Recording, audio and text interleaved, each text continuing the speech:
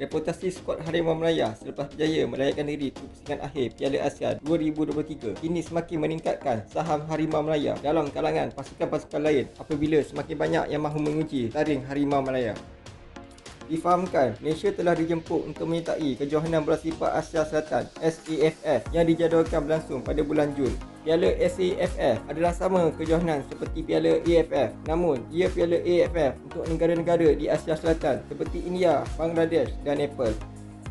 Presiden Persatuan Bola Sepak Asia Selatan SAFF Aziz Zalahuddin memaklumkan bahawa pihaknya menjemput dua pasukan iaitu Malaysia dan Arab Saudi bawah 23 tahun untuk mintai kejohanan SAFF bagi tahun ini.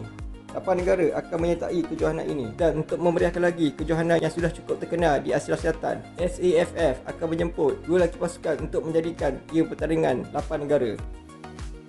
SAFF menjemput Harimau Melaya untuk menyertai kejohanan ini. Sementara itu, pasukan Arab Saudi pula diminta untuk menghantar pasukan bawah 23 tahun mereka ke kejohanan ini.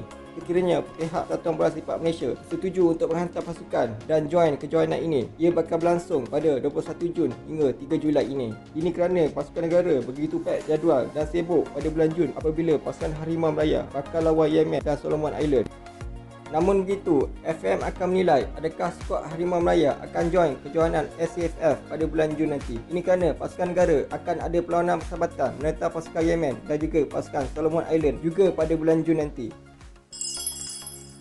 Ia adalah penghargaan yang tinggi buat Malaysia untuk dijemput kejohanan serantau bola sepak Asia Selatan iaitu SAFF kerana piala SAFF sama level dengan piala AFF di Asia Tenggara. Kejohanan edisi ke-14 ini akan disertai oleh pasukan India, pasukan Bhutan, pasukan Bangladesh, pasukan Nepal, pasukan Maldives dan juga pasukan Pakistan.